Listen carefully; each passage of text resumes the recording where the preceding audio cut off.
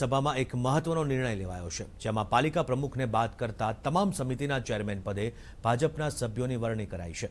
સભામાં પાલિકાના બળવાખોર જૂથના 12 સભ્યો જ્યારે ભાજપના 20 સભ્યો હાજર રહ્યા હતા આ સમગ્ર મામલે જિલ્લા ભાજપ પ્રમુખે નિવેદન આપ્યું કે બળવાખોર પ્રમુખ પાસે ફક્ત બહુમતી ન હોવાના કારણે તેમણે રાજીનામું આપી દેવું જોઈએ